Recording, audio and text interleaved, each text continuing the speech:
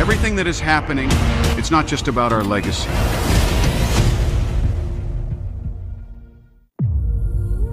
In your world, your father sacrificed himself for you and his universe. In my world, it was my daughter who made that sacrifice. Now that I'm here, I won't let that happen to me again. Dad, a war is coming. And I can't handle it all by myself. Even if you're not from here, you are the only one who can help us. So, child, what's the plan? Are you sure you have what it takes to wear the suit? I am ready.